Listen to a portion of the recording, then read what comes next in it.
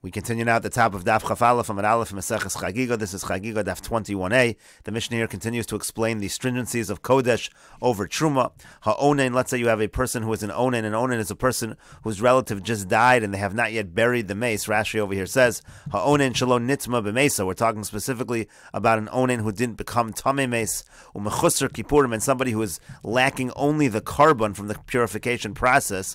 Rashi over here says, V'amechusser kippurim, kegon zav shetav Yom Shvi So, for example, let's say a Zav, he immerses on the seventh day from when he's counting uh, in order to become Tar. Vahariv Shimsho, and then he waits for the sun to go down. Mechusar Kippurim. Now, the next day, he's in the status of what is called a Mechusar Kippurim, Shadayin Gemar Taraso Tuluya Bekarbana, because he still hasn't finished the purification process. He still needs to bring the korban. So, in those cases, Tzrichin Tvila Lakodesh, they need to immerse for Kodesh, Avalo but that's not required for Truma. Rashi over here says, Tzrichin Tvila La'achar Shehevi Karbono, means to say, after he actually brings his korban, Imratza Lechel Kodesh, if he wants to eat Kodesh, he needs Tvila immersion, Uva Mefarish time, and the Gemara is going to explain the reason.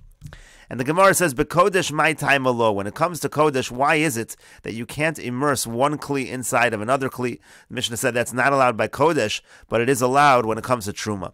So Amar Rabbi Ila, Rabbi Ila says, "Mimnei shel kli chotzetz." The reason is because the heaviness of the kli is going to create a chatzitza. Rashi over here says, "Shekvedo shel kli chotzetz, kvedo shel kli hapnimi hamach berachitzon." What's happening is the kli on the inside. You have one vessel inside another, so it's heavy and it's leaning upon the outer one, munach besocha, because it's inside the outer kli, so it's pressing on the inner surface of the outer kli. So chotz is b'fnei. That water is not going to get in in the area where the two kalim are touching each other.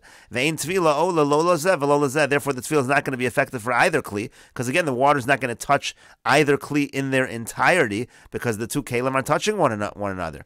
Well, the kaman. Now, the Gemara later is going to ask if that is the reason that should be tr- be true by truma as well. Why would it be true? Why would it be that by truma it's okay to have a kli inside of a kli if there actually is a chatzitza?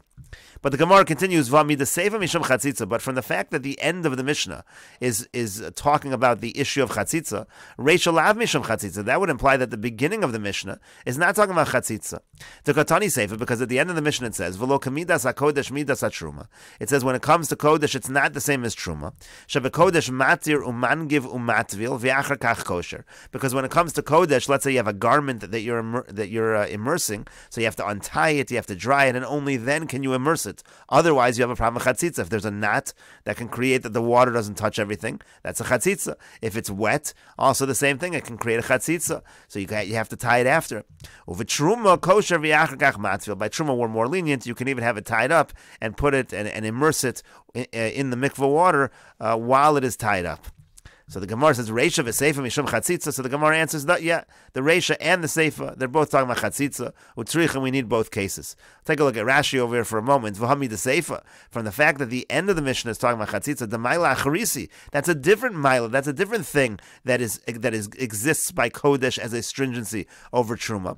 The Chashav b'Seifa and that's being counted towards the end of the Mishnah. Have a time mishum chatzitza and that has to do with chatzitza. So Reisha la mishum chatzitza doesn't that imply that the Reisha is not because of chatzitza? The time of the Chatzitza, if they're both stringencies by kodesh that have to do with chatzitza, v'lashminan degabe kodesh, called the dami lechatzitza possible. Just say a general rule by kodesh, anything that's similar to a chatzitza is a problem. Uva lo pasla lechatzitza gemur do raisa, and by truma it's only if it's a real full fledged do raisa chatzitza that it's a problem. Listen, and again you should just have it listed once. It's really all the same thing.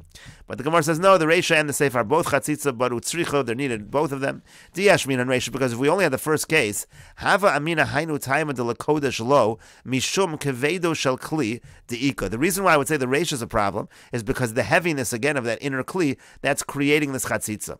Aval seifa, but in the uh, end of the Mishnah, the leka kevedo shel kli. The chatzitza is not created by the heaviness of a vessel. It's a different. It's a different kind of chatzitza. So emal kodesh nami lo have a chatzitza. I might think that for kodesh also that's nothing. It's not a chatzitza.